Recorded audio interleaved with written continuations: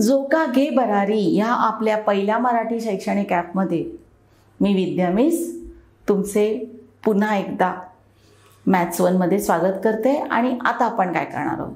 Chapter टूचा next part मुलांनो आपण two point फोरमध्ये एक इम्पॉर्टंट व्हॅल्यू काढायला शिकलो. आठवत आहे फॉर्म्युला मेथडमध्ये येस ती व्हॅल्यू कोणती? नाही नाही फॉर्म्युला मेथड नाही. त्याच्या आधी आपण एक व्हॅल्यू शोधतो formula मेथडसाठी yes B square minus four A C मुलांनो आता मी जो तुम्हाला एक्झरसाईज शिकवणार आहे टू पॉईंट फाय त्याच्यामध्ये ना वेगवेगळे टॉपिक्स आहेत.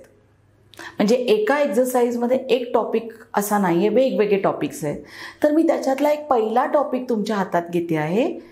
तो आहे B square minus four A सीला रिलेटेड टॉपिक आणि त्या टॉपिकचं नाव आहे व्हॅल्यू ऑफ डिस्क्रिमिनंट हा क्वेश्चन तुम्हाला वन मार्कला येणार किंवा टू मार्कला येणार?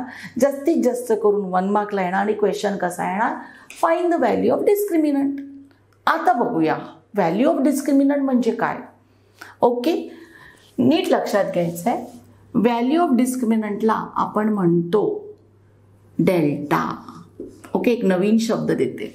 काय म्हणतो? डेल्टा डेल्टा असं लिहायची गरज नाही आहे तुम्ही डेल्टाचा हा एक ट्रँगल वापरायचा आहे म्हणजे जेव्हा पण तुम्हाला डिस्क्रिमिनंट वर्ड लिहायचा कंटाळा येत असेल तो डिस्क्रिमिनंट वर्डच्या खाली ओके तुम्ही डायरेक्टली डेल्टा लिहू शकता. ओके?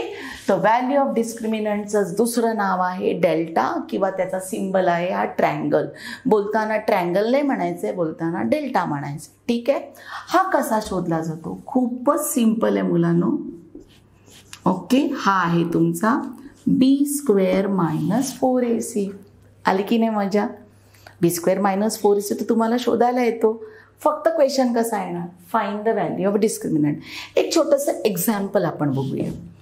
एक्झाम्पल असं आहे find the value of discriminant yes कधी बोलतील find the value of B square minus four A C कधी बोलतील find the value of discriminant for the equation X square minus two X minus three is equal to zero सगळ्यात पहिलं काय करायचं आहे जसं आपण प्रिव्हियस एक्झरसाइज फॉर्म्युला मेथडमध्ये केलं तसं. कम्पॅरिंग करायचं आहे very good yes comparing with हो कम्पॅरिंग विथ हे फार जरुरीचे कारण की आपल्याला ए बी सी तिन्ही हवेत A X square plus B X plus C is equal to zero therefore एची व्हॅल्यू एक्स स्क्वेअरच्या बाजूचा नंबर वन कोइफिशंट बीची व्हॅल्यू एक्सच्या बाजूचा कोइफिशंट मायनस टू आणि सीची value constant term minus three okay आता आपल्याला काय क्वेश्चन शोध शो विचारला आहे find the value of discriminant therefore discriminant okay discriminant is equal to B square minus four A C किंवा तुम्ही लिहू शकता की triangle delta is equal to असंही लिहू शकता. येस ओके बीच्या प्लेसमध्ये मायनस टूचा स्क्वेअर मायनस फोर एच्या प्लेसमध्ये वन आणि सीच्या प्लेसमध्ये मायनस थ्री मायनस टूचा स्क्वेअर येतो फोर फोर थ्रीचा twelve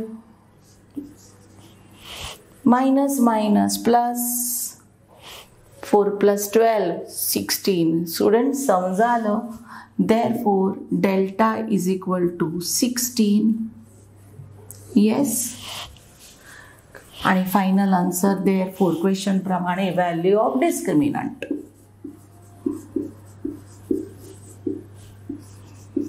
is 16.